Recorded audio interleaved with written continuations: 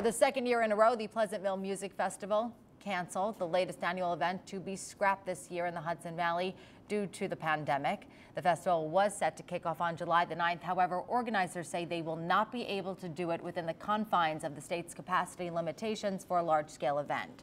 For 15 years, the festival has brought top names along with local talent to the stage to perform for thousands.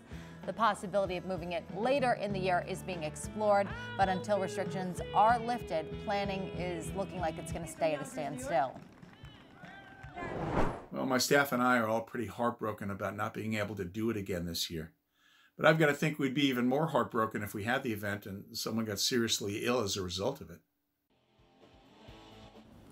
Good way to look at it. If a new date cannot be worked out for 2021, festival goers will have to wait to 2022. That will likely be July the 9th.